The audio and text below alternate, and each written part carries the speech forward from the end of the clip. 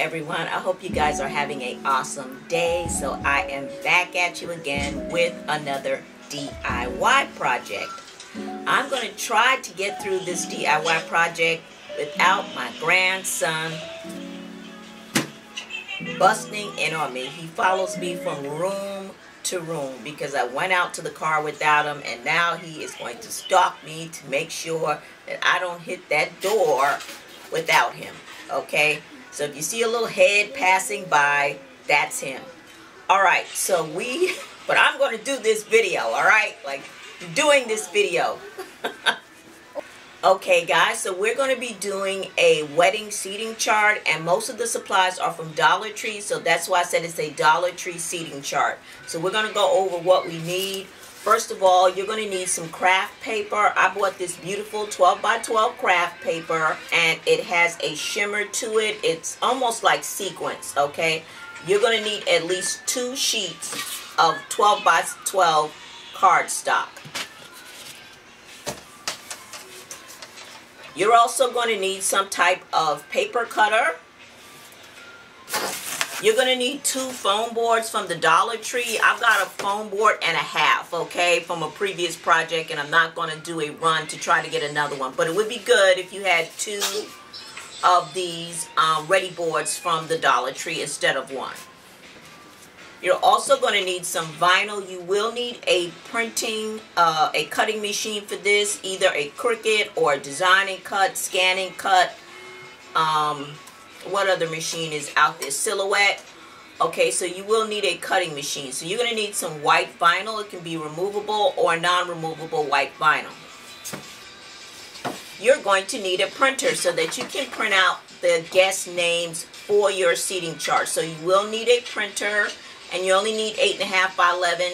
You don't need any special size, but you will need a printer. You're also going to need six of these 8 by 10 gold uh, frames from the Dollar Tree. This is absolutely beautiful. You can use any type of 8 by 10 frame that you want, but I selected these and I love it because it has like a diamond type look to it, uh, diamond type finish to it, and I think this is really pretty, so we're going to be using this. Okay guys, so I'm going to switch camera positions and we're going to get into this DIY. The first thing we want to do is start opening up our frames.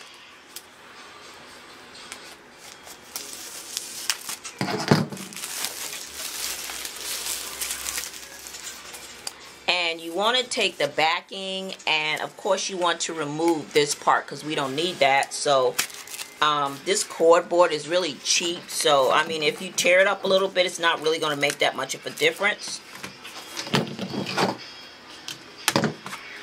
So we want to remove this part. And we also want to remove these little hanging pieces as well.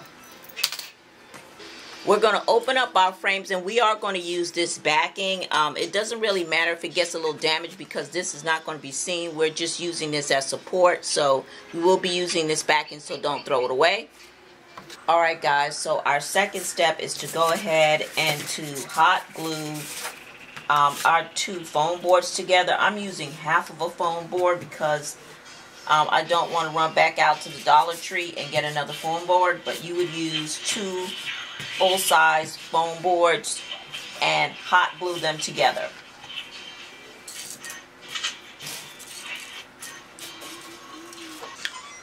Okay guys, so you should have your two foam boards um, hot glued together and that's just going to give you more support. Uh, now we're going to go to our next step.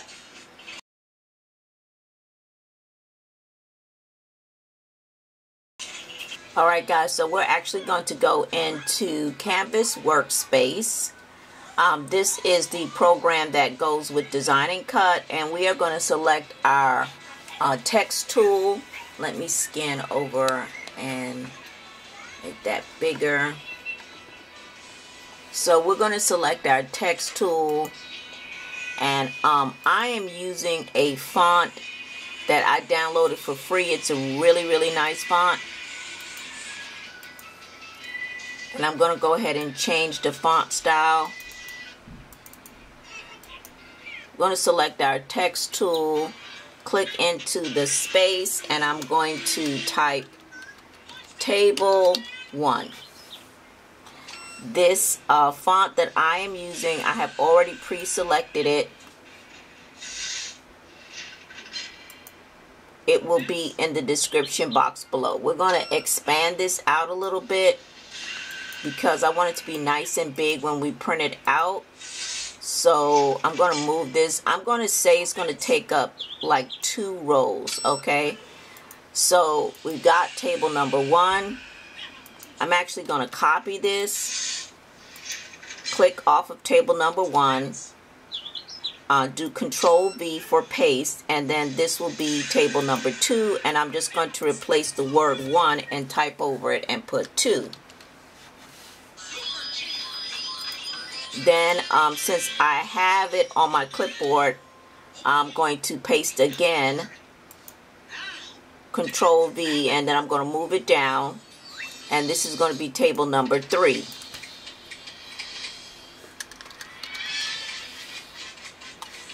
And then I'm going to do it one more time. And move it down, and this is going to be table number four.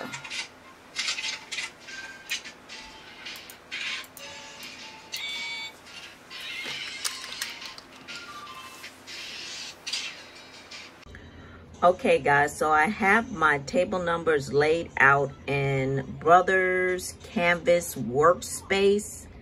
And um, now I am about to save the file and queue it up to my DesignNCut. So this is my vinyl laid out on my uh, DesignNCut cutting mat. And um, sometimes I have to put some painter's tape in the corner because after a while this thing doesn't stick that well. So but this is my mat and I'm getting ready to it's all prepped. It has my white vinyl on it and I'm getting ready to put it into my machine.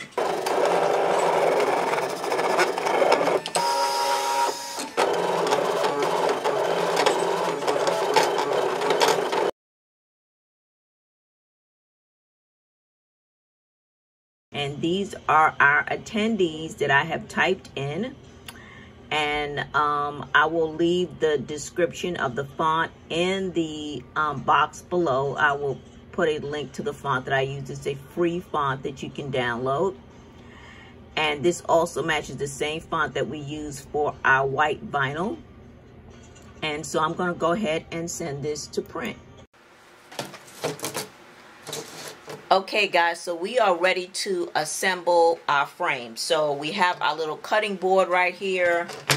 Um, we have the six lists of all of our wedding guests right here that we printed out on Word. We have our vinyl, and my bad, I did not mean to print eight table numbers. I only meant to cut out six on the vinyl, so that was my bad. And uh, we have our frame that is ready to go. So what we're going to do, and we'll just do one, and then you'll know how to proceed with the rest of them. So we're going to go ahead and take our gas, and we are going to start cutting and trimming this down so that it will fit in the frame. And I will have a Word document for this so you'll know exactly where to cut. Okay, so I don't have to go over that in this video. So I'm just going to lay this into my cutting board and just start trimming it so I can fit it into my frame. So I cut down a Word document. It fit pretty good, and this is what it looks like. And so now what I have to do is go ahead and cut this piece of um, 12 by 12 craft paper down because I want it to fit. I want to layer this on top and I will leave the exact measurements up on the screen as to how much I cut.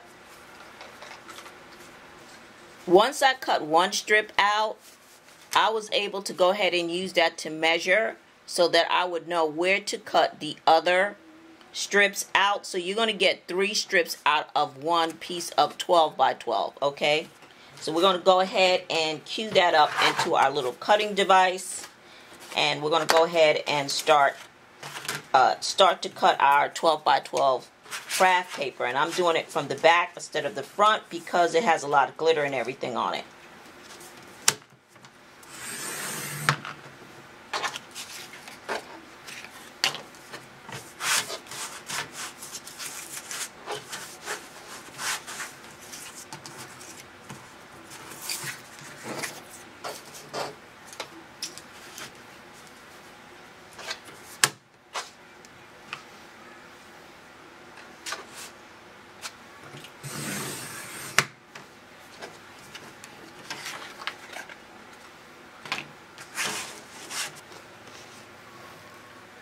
So here are my strips all cut down. And you want to put that to the side. We've cut our strips down.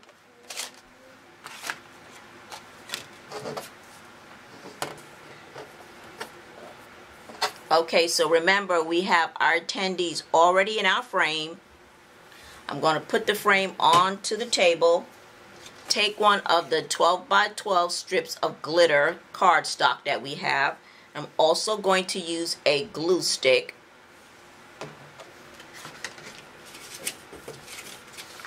I'm going to pull my Word document back a little bit until I see that line that I that I marked on here. And let me show you the line.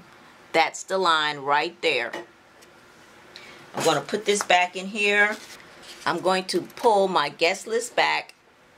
Go ahead and take this glitter stock paper.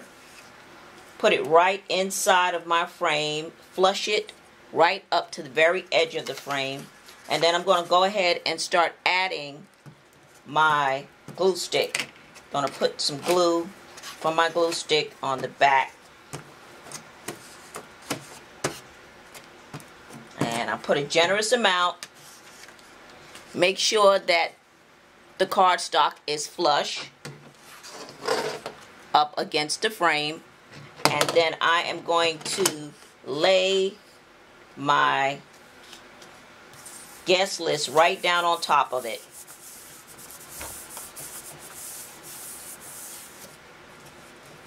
And when you do that, I'm just going to pull it out.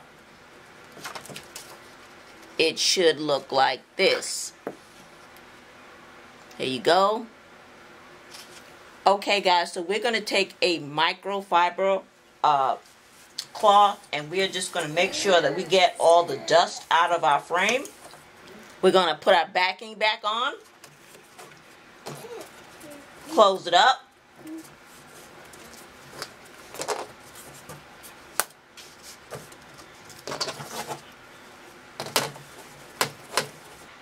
And this is what we have so far, guys. Now we're going to go ahead and add our vinyl table number. Now we're going to go ahead and put our table number onto our frame. As you can see, I have already weeded this and put it on transfer paper. And I'm going to leave a couple of links for YouTube videos that show you how to weed vinyl and put it onto transfer paper okay there's just too many resources out there for me to get into it and it would make this video too long so we're going to take our table number and we're going to put it right in this area where we have our black craft paper. Once we have gotten the proper placement, I'm just going to go ahead and start smoothing down the transfer paper um, onto our frame with my fingers. Then I'm going to take my burnisher and just kind of go over the vinyl to make sure that it sticks well onto the frame.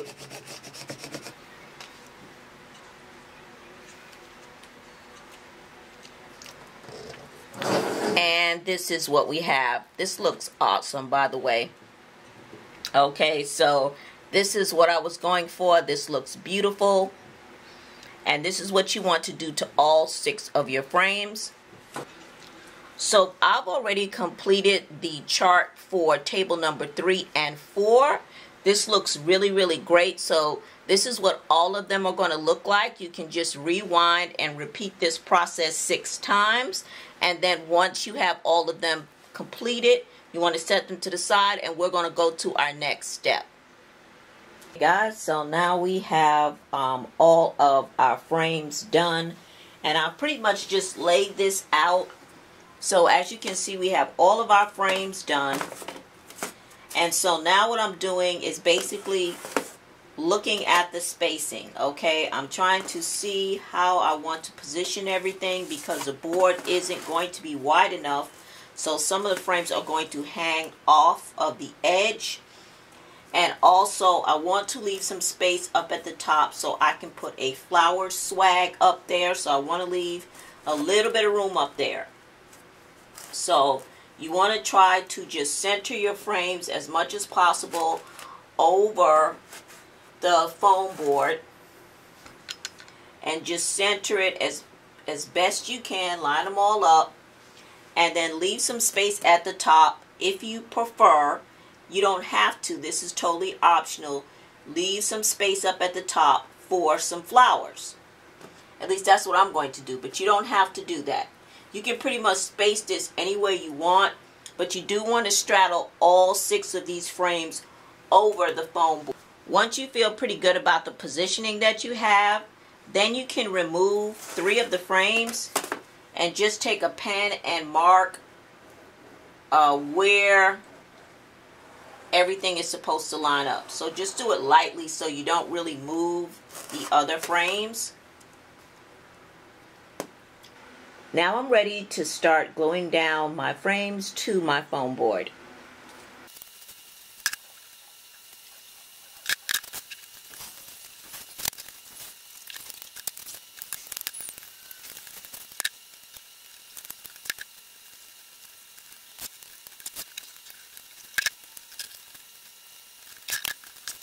All right, everyone. So um, I have my easel ready.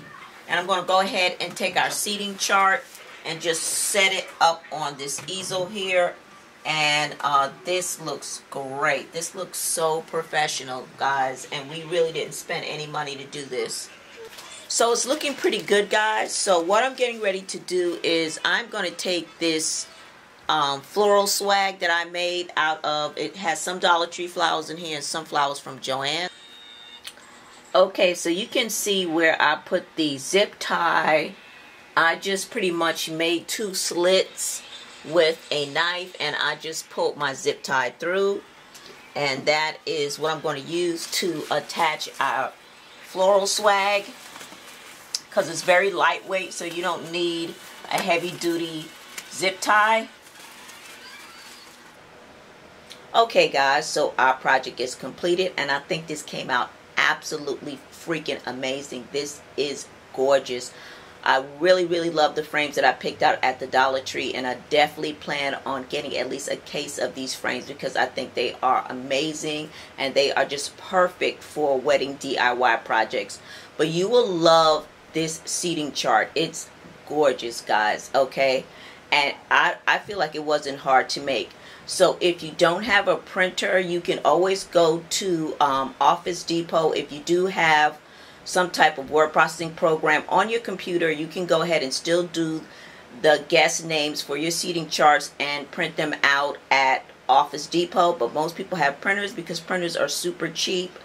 Uh, if you don't have a cutting machine, please get in contact with me and I can do table numbers for a small fee okay so just contact me I will leave my uh, email address uh, in the description box below but again you'll love this project it is so freaking gorgeous I can't stop looking at it alright guys so this wraps up our project oh let me um, before I forget this project came in around I would say this project came in around $17 so that's super super cheap for a seating chart, okay? And that includes the vinyl.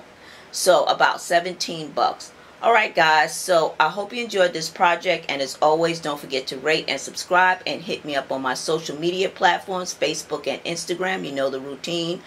Get those likes up, guys. Please get those likes up so that my video would trend with YouTube. I certainly would appreciate that. And of course, don't forget to share the video. I will see you in the next DIY video. All right, guys. Peace.